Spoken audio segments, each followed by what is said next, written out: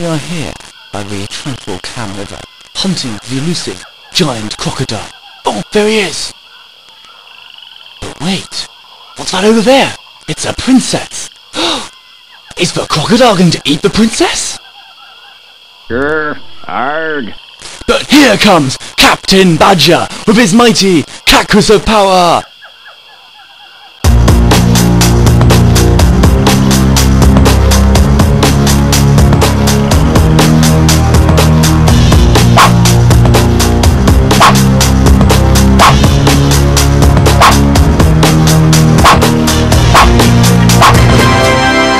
Does the princess feel about all this?